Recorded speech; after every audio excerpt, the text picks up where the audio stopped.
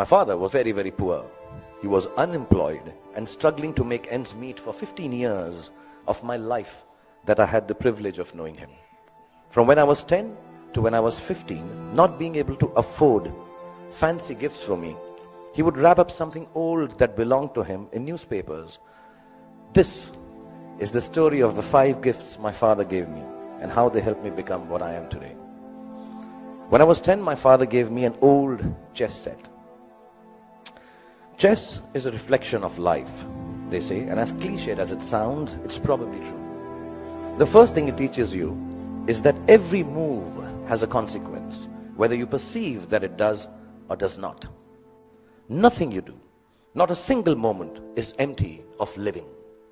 So think of things through, not always, but often enough. Often enough, so your life does not feel as black and white and as uniform as the squares on a chessboard.